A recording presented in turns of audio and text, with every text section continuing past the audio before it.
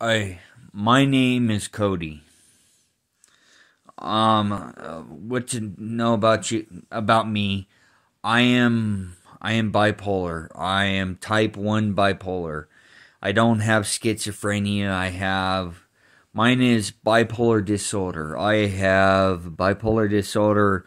It comes with manic depression, anxiety, ADHD, and um, it's called bipolar disorder. It's like a mood thing. It's up and down. So what I do, I I I don't do coke, I don't do meth, I don't do heroin, I don't drink. But this is what I this is what I take. It's called Lizepam.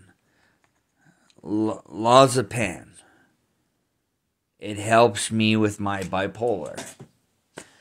I don't I don't I take it to control my bipolar so I can feel normal. So there's many people there's million there's like a lot of people have bipolar. It's very uncommon with people.